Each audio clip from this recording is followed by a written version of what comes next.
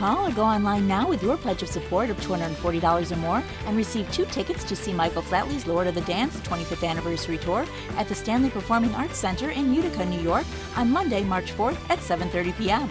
This special ticket offer includes a DVD of Michael Flatley's Lord of the Dance The Impossible Tour. Hurry, tickets are limited.